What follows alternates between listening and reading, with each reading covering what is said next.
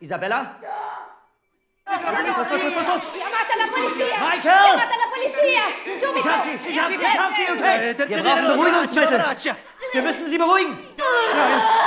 Mami, bitte! Isabella, Hilf mir! ich kenne diese Frau, sie braucht eine Spritze. Na los,